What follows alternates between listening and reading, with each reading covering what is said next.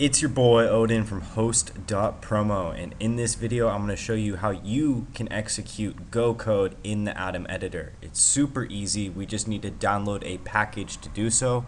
So to get started we should go to edit in the menu and then click preferences, go to install, we're going to search for a package called script. And you must already have Go installed on your computer. If you don't already, I will leave a good tutorial below how to do so. Okay, we're going to look at this package. We're going to go ahead and click install. It has 1.8 million downloads. It's created by the author RGB KRK and it is called script.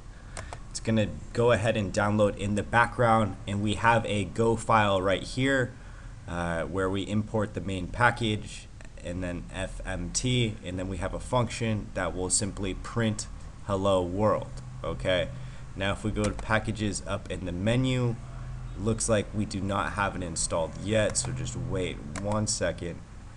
Oh, looks like it's good to go. So if we go back you see we have packages script and now we can click run script. And there's also a keyboard shortcut control shift B but this will vary depending on you're on Linux, Windows, or Mac. Okay, so if we go ahead and click Run Script, you can see down here below it says Hello World, and you can also click this icon in the right corner, uh, but the, the one on the the one on the far left that says Show Output in New Tab.